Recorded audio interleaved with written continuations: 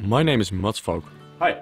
I broke the world record for solving a Rubik's Cube with a time of 5.55 seconds in March 2013 and came second at the Rubik's World Championships twice, in 2013 and 2015.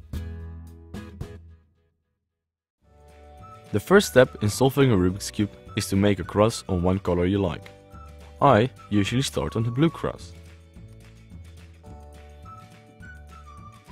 An easy way to make the cross is the flower method.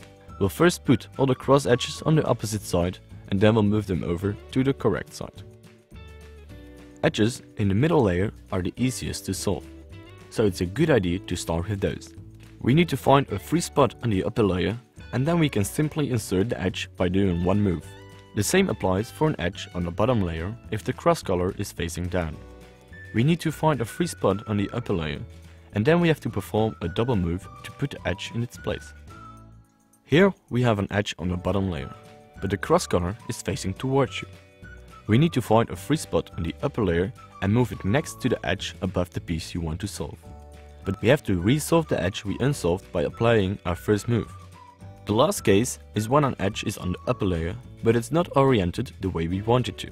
We have to take it out of its spot and now it has become an edge in the middle layer.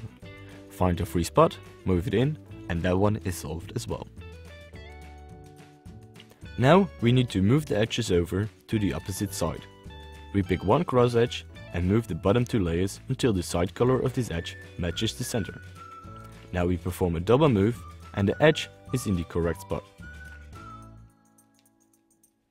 When we do this four times, we have our cross solved. Before we continue, it's good to know the notation for algorithms for the Rubik's Cube. When we turn the front layer, we write the capital letter F. When we turn the right layer, we write an R. The same applies for the left layer, L, upper layer, U, back layer, B, and the bottom layer, D. When we turn a side one move clockwise, we just write the corresponding letter. When we turn a side one move counterclockwise, we write the corresponding letter with an apostrophe. When we do a double move on one side, we write the corresponding letter and a 2 after. To solve the first two layers, we'll use one short algorithm of four moves.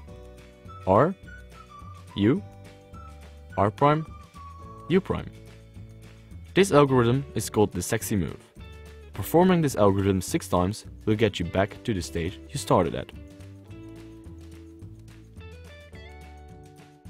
Goodbye. I hope you were able to follow along. My name is Mats.